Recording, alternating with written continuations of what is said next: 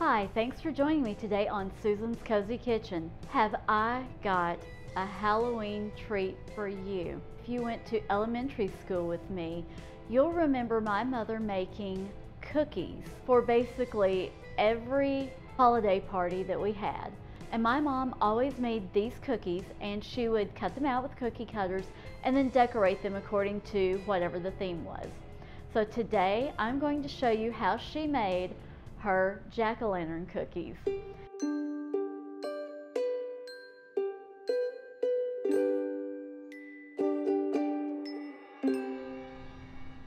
I forgot to tell you, they're called Southern Tea Cakes and they're very basic, they're very simple, but yet they're light and delicate and wonderful and they are so easy to make, so easy to decorate, and you will be the hit of the party if you serve these.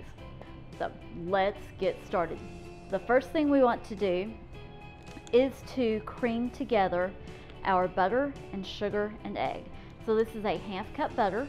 You can use margarine, a cup of sugar, but I've got the butter and the sugar in here. I'm going to turn it on. And to cream it means to just let them blend together until they have a creamy consistency.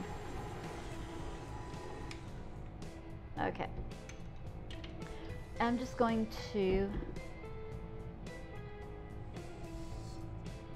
pull it up and show it to you. This is the consistency that it is. It looks nice and creamy. So next, going to get this going again. And I'm just going to put my egg in there and let the egg mix in. To that, I'm going to add an eighth of a cup of milk, two teaspoons of vanilla extract. Time to add in the flour. We all know what a messy person I am. Let's go ahead and put this on to add the flour in, a little at a time.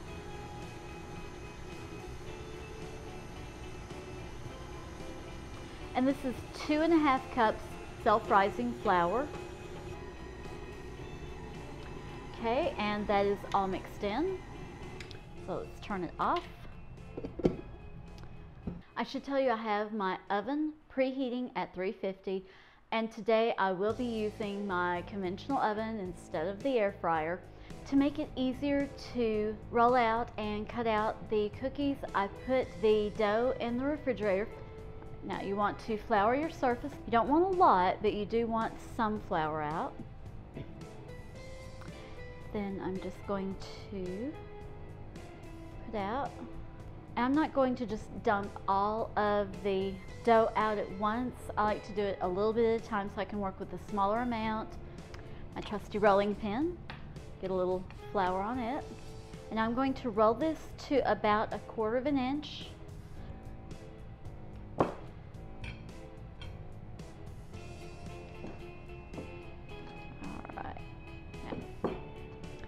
have a round cookie cutter, just straight down, and then gently lift it up, and then onto the cookie sheet, onto the parchment paper.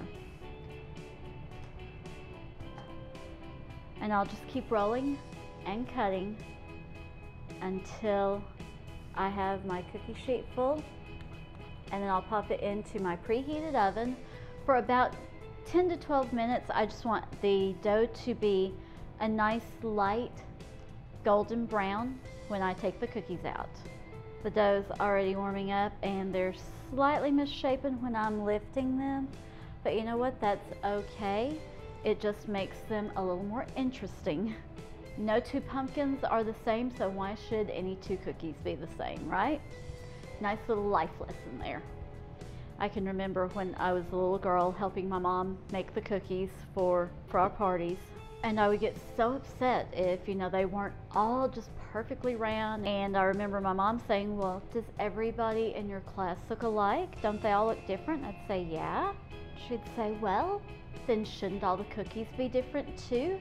A little deeper, but you know, she was right and it kind of stuck with me. So now when things aren't exactly just perfect, it's okay because my mama said so.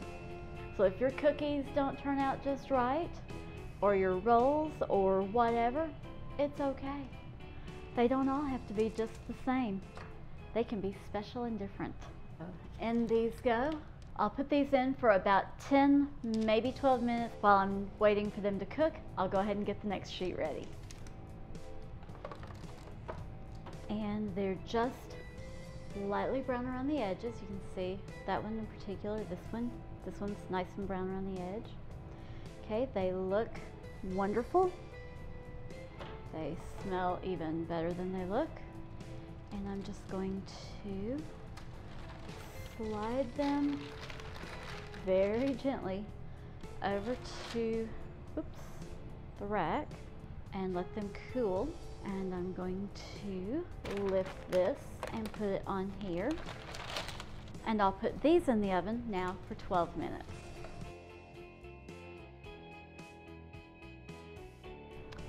A quarter cup of butter. I'm going to put that in here. To that, I'm going to add two cups of powdered sugar.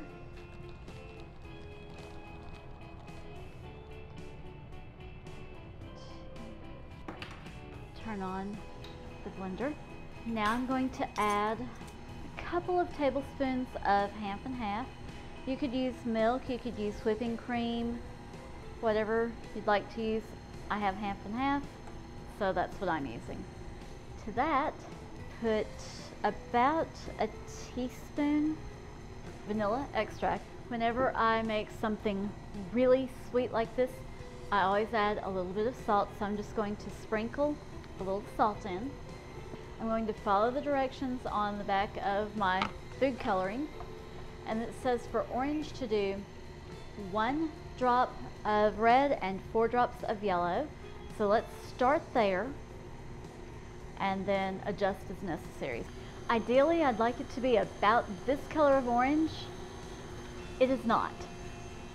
And I'm just going to keep adding food coloring until I get the color that I want, or at least as close as I can get.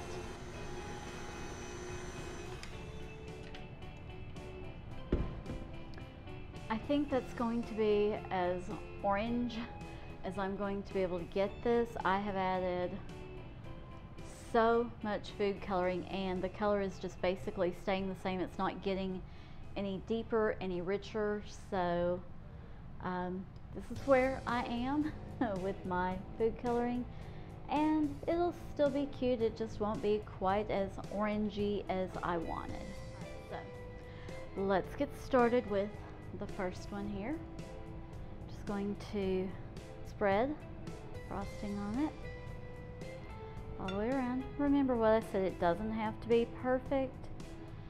I have raisins in here. Raisins were what we always used to decorate the cookies and that always got to be the thing that I did. So I'm going to decorate like I used to do. Here are the eyes. And I always liked to stand the nose up so that it was sticking out for my jack-o'-lantern. And then the teeth or the jack-o'-lantern mouth. And I liked to give him a crooked little smile.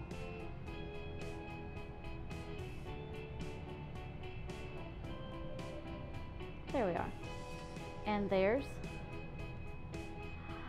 our first jack-o'-lantern.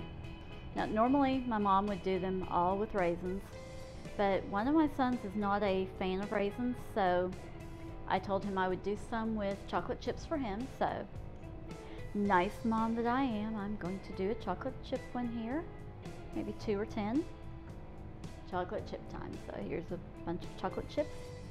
And I'm going to do,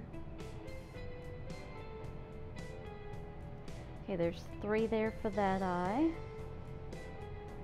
And three for that eye.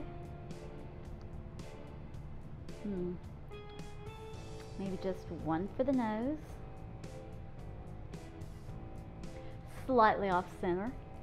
And then chocolate chips make everyone happy. So this will be a smiling one. I'll leave a couple of spaces in there because he's a little jack-o'-lantern. So he's missing a tooth or two.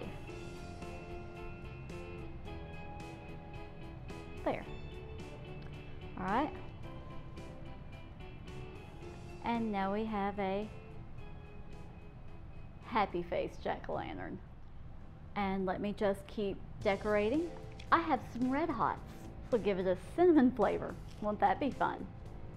I kind of like this one. I'm not sure how it'll taste, but look how cute. And now for the final one. Um, icing with some sprinkles. You're only limited by your imagination and what you have in your pantry.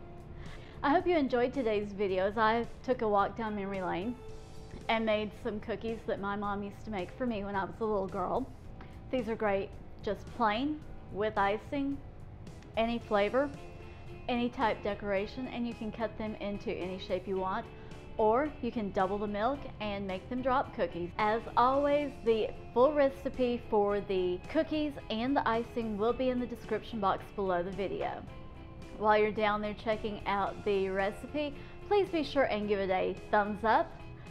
While you're there, if you haven't already, please subscribe and hit the notification bell so that you find out every time I upload a video to YouTube. Thanks for joining me today. God bless.